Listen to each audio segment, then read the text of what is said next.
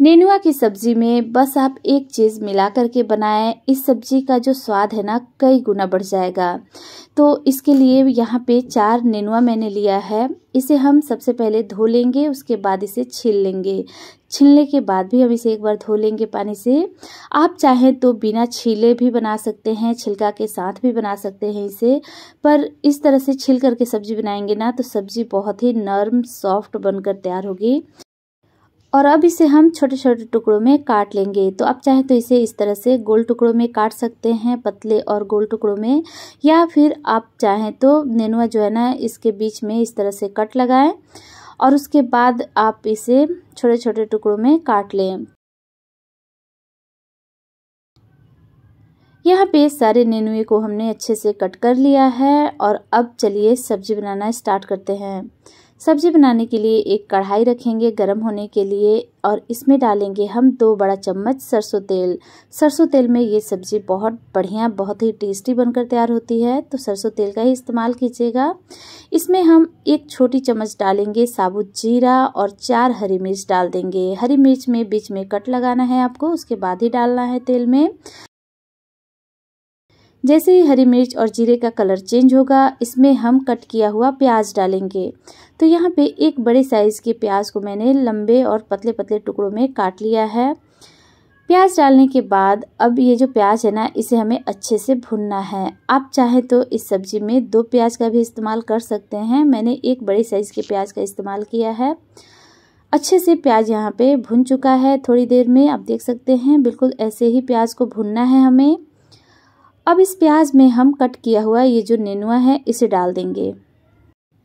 मिला देंगे इसे अच्छे से। और अब इसमें हम एक चीज़ मिलाएँगे, वो है भिगोया हुआ लाल चना। चना डाल करके नेनुआ की सब्ज़ी बहुत टेस्टी बनती है। किसके किसके घर में बनती है ये सब्ज़ी, मुझे कमेंट करके आप ज़रूर बताइएगा। और अगर नहीं बनती है तो आप इसे बनाकर ज़रूर ट्राई कीजिएगा अपने घर में। आप सबको ये जो सब्ज़ी है ना, बहुत पसंद आएगी। टेस्टी के साथ साथ ये बहुत ज़्यादा हेल्दी है, क्योंकि बहुत ही कम तेल में बन करके तैयार हो जाता है ये सब्ज़ी और बहुत ही कम मसाले लगते हैं इसमें। ढक देंगे और दो मिनट इसे पकने देंगे। दो मिनट जब नेनुआ चना पक जाएगा ना, तब इसमें हम डालेंगे नमक स्वाद अनुसार। ध्यान रखिए, नमक डालते समय कि नेनुआ पकने के बाद इसकी जो क्वांटिटी है वो कम हो जाती है तो उसी हिसाब से हम नमक डालेंगे इसमें, मिला देंगे इसे अच्छे से।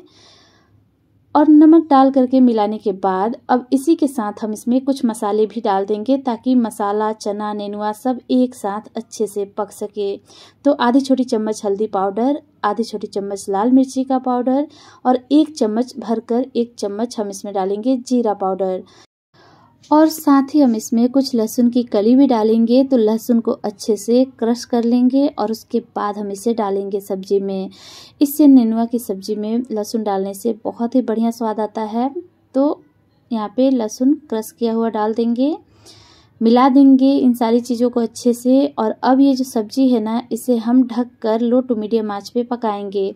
इसमें आपको पानी डालने की ज़रूरत नहीं पड़ेगी, क्योंकि नेनुआ से खुद पानी रिलीज़ होगा और उसी पानी से चना और नेनुआ सब अच्छे से कुक हो जाएगा। तो ढक देंगे और लो टू मीडियम आँच पे ये जो सब्ज़ी है ना, इसे हम पकाएँगे। बीच बीच में ढक्कन हटाकर आपको इसे चलाना है। आपको इसे तब तक पकाना है ना ढककर जब तक कि जो चना हमने डाला है ना, वो अच्छे से कुक ना हो जाए। तो चना जब तक कुक होगा ना, तब तक नेनुआ भी बहुत अच्छे से कुक हो जाएगा। ढक देंगे इसे और पकने देंगे। लगभग यहाँ पे पंद्रह मिनट हो चुका है। ये जो सब्ज़ी है, इसे पकते हुए आप देख सकते हैं, नेनुआ से जो पानी निकला था ना, वो सूख चुका है। और यहाँ पे जो चना है ना, इसे हम तोड़ करके चेक कर लेंगे। तो यहाँ पे चना भी बहुत अच्छे से कुक हो गया है, बहुत अच्छे से पक गया है और नेनुआ भी बहुत अच्छे से पक चुका है। तो सब्ज़ी बन करके बिल्कुल रेडी है। हम इसे क्या करेंगे ना कि चम्मच से इस तरह से थोड़ा दबा देंगे ताकि सब्ज़ी जो है ना थोड़ा सॉफ्ट हो जाए और बिना ढके इसे हम दो मिनट के लिए पका लेंगे। तो यहाँ पे सब्ज़ी बिल्कुल रेडी है बनकर। बंद कर देंगे फ्लेम और उसके बाद इसे हम गर्मा गर्म सर्व करेंगे। तो आप इसे रोटी पराठों के साथ खा सकते हैं, दाल चावल के साथ खा सकते हैं। तो ज़रूर बनाइएगा अपने घर में। रेसिपी अगर अच्छी लगे, आपको वीडियो पसंद आए तो प्लीज़ वीडियो को लाइक कीजिएगा, ज़्यादा से ज़्यादा इसे शेयर कीजिएगा और चैनल पर नए हैं तो प्लीज़ चैनल को भी सब्सक्राइब ज़रूर से कीजिएगा। मिलते हैं अगले वीडियो में अलग रेसिपी के साथ। तब तक के लिए bye bye and take care